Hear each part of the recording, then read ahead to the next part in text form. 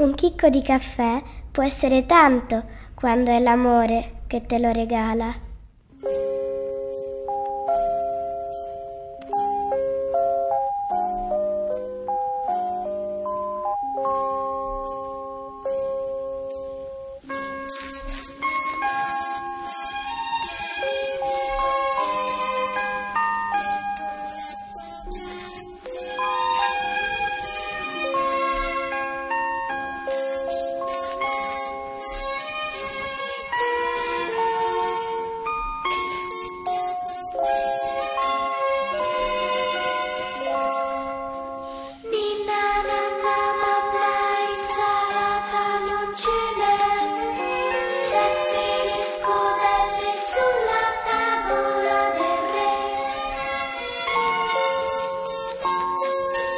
Yeah.